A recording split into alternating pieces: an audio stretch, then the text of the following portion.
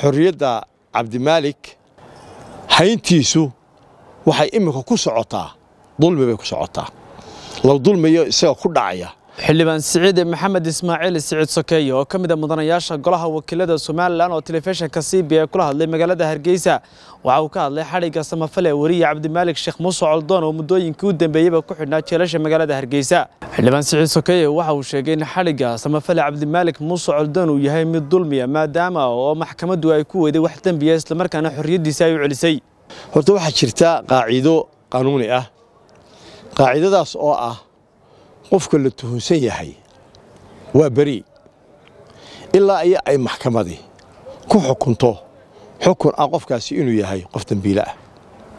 Isla markaana qofkaasi waa beri oo wax allaale iyo wax dembiya uu leeyahay ma jirto. Haddii ay maxkamadi ku xukunto inuu qofkaasi yahay beri.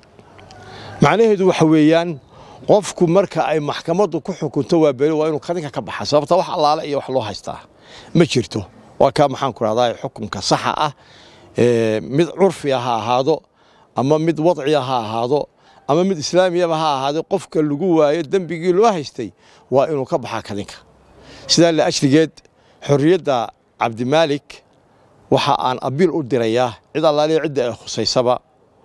Ninkaa waa in la soo daayaa sababtoo xidhitaankiisu wuu ka hawl badan yahay sii dayntiisa. Hayntiisu waxay iminka ku socotaa. Dulmi bay ku socotaa. La dulmiyo isaga ku dhacaya. Ciddii maxaanku idhahday haysataana? Waa daalim ayuu noqonayaa. Isagana maxaanku idhahda lagala xisaabtamayo maalin. Yowmun laa yanfacu maalun walaa baniin. Qof maalin aan ubadkaaga iyo waxaad haysato iyo waxba toona aanay ku anfacayn ilaa man ata allaahu biqalbi saliim qof ilaahay subxaanahu wa tacaala uu siiyey qalbi wanaagsan mooyaane. Sidaa la ajligeed ama wadaad ha hadlo. Ama wabiil ha hadlo. Ama mid nacabe ha hadlo. Ama mid jecele ha hadlo. Maxkamaddii waxa ay tidhi ninkaasi wixii tuhum ee lagu soo taagay waa ka beri. Sidaa la ajligeed waa in aynu haddaynu nahay dal qaanuuni ah oo ixtiraamaya. Maxaan ku rahday dastoorkiisa iyo hay'addiisa garsoorkaba waa inaynu ku ixtiraamnaa hay'adda garsoorka qaraarkaa ee gaadhay oo ninkaa odayga ah la sii daayaa si uu ubadkiisii iyo ooridiisii iyo ehelkiisiba ugu noqdo.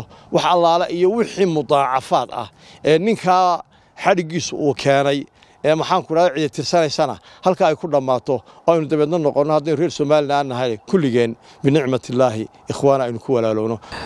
Dhinaca kale xildhibaan siciid maxamed ismaaciil siciid sokeeye waxa uu ka hadlay sixir bararka dhinaca shidaalka ee ka jira suuqyada somalilan iyo sidoo kale xaaladaha abaareed ee ka jira dalka. Aad iyo aad baan runtii u damqadaa marka aan arko dad itaalkooda dhaqaale u liito oo macashadii aad iyo aad ugu sarrayso batroolkuna waxa weeyaan casabka ama waayarka elektrisiga sida ee ina dhaqaajinaya haddaynu nahay dad iyo haddaynu nahay gaadiid iyo haddaynu tahay dhaqaale. Marka haddii uu sare u kaco maxaanku idhahdaa dhaqaalihii laydhkii baa sare u kacaya oo biyihii soo saarkoodii baa sare u kacaya oo doonistoodii baa sare u kacaysa oo iibintoodii baa sare u kacaysa. Marka waxa ay noqonaysaa ciddii awood dhaqaale haysata ee iska xejin karaysaana iyaga laftoodu inkastoo dhibaata soo gaaraysa laakiin calalaqaal iska xejiyaan intii maxaanku idhahdaayay taalka daraydna ee aad iyo aad u dhibaatooto sidaa la ajligeed horta ilahay waxaan inooga baryayaa subxaanahu wa tacaala jala jalaaluh inuu raxmad waasica inuu ina siiyo. Waxaanan kula talinayaa qof kasta oo maqlaya kelmaddaydan. Inuu ilahay yidhi subxaanahu wa tacaala fii suurati nuux uu yidhi ilaahay subxaana wa tacaala istakfiruu rabbakum innahu kaana kafaara yursil isamaa calaykum idraara waxyaabaha rabbi subxaanahu wa tacaala uu kaga qaado ummadda caladiisa waxaa ka mid ah in ay ilaahay u noqdaan oo ilaahay u toobad celiyaan xukuumaddeenna iyo cid allaale iyo ciddii kale ay khusayso ee ku saabsan barnaamijkaas shiidaalka waxa aan leeyahay ilaahay kaga baqa ummadda. War ilaahay ka yaaba.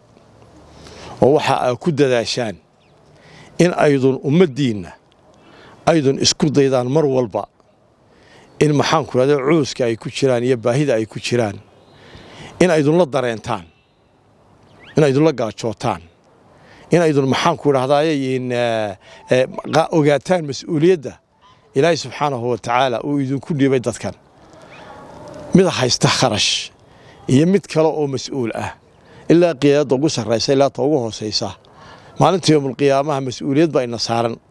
Mas'uuliyadda ayna saaranna waxa weeyaan in aynu dadkan aynu u qaadnay ammaanada aynu ammaanadoodii si wanaagsan aynu u maxaanku dhaha gudanno. Maanta islaantii doonaysay bas min maxadad ilaa maxadad inay u dhaqaaqdo saddex kun oo maxaanku dhahdaayay shilin ayay ku bixinaysaa. Waa aad iyo aad waa wax looga murugoodaa waxaana ilaahay ka baryayaa subxaanahu wa tacaala. Aniga oo aan hay'adna sheegayn enji-oona baryayn ee ilaahay baryaya subxaanahu wa tacaala inuu ilaahay culayska ina saaran inaga qaado. Xagga muceeshadda ha ahaato xagga biyaha ha ahaato xagga baatroolka ha ahaato abaarahan inagu habsada ha ahaato waxaana qof walba doonaya inaan dareensiiyo inuu ilaahay yidhi subxaanahu wa tacaala waman acrada can dikrii fa ina lahu maciishatan danka. Qofka ka hor yimaada ee fulin waaya ee ku dhaqmi waaya ee ka soo horjeesta dikriga ilaahay waa kitaab allahi wa sunnati rasuulih inuu qofkaasi adduunka inta uu joogo uu leeyahay nolol aad iyo aad u cidhiidhiya nolol xanuunku ka buuxo nolol foqorku ka buuxo nolol nabadgelyala'aantu ay ka buuxdo nolol isnacaybku uu ka buuxo nolol wax xun oo kastaaba ay ka buuxdo.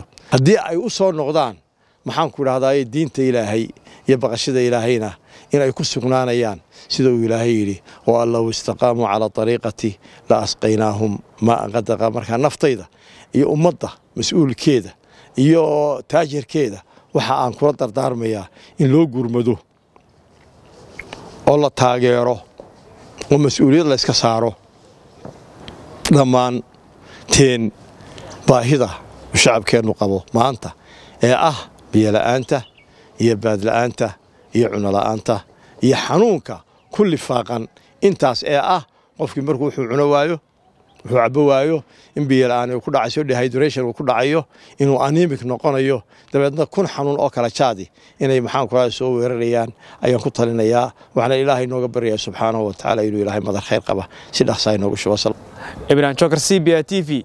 Hargeysa